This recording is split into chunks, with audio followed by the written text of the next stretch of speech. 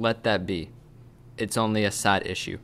I'm here because I treated my wife abominably. That's all. For five years. Naturally, sh- she's suffering still.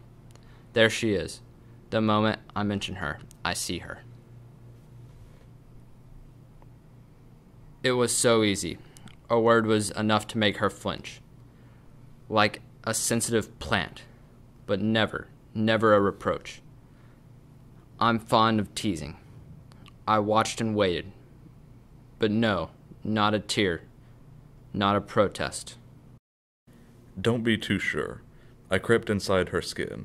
She saw the world through my eyes. When she left him, I had her on my hands.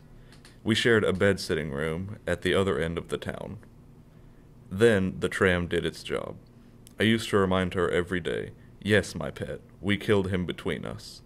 I'm rather cruel, really. I'll tell you later. When I say I'm cruel, I mean I can't get on without making other people suffer. Like a live coal. A live coal in others' hearts. When I'm alone, I flicker out. For six months, I flamed away in her heart, till there was nothing but a cinder. One night, she got up and turned on the gas while I was asleep. Then she crept back into bed. So now you know. It was a girl. Roger was with me when she was born. It pleased him no end, having a daughter. It didn't please me. There was a balcony overlooking the lake. I brought a big stone.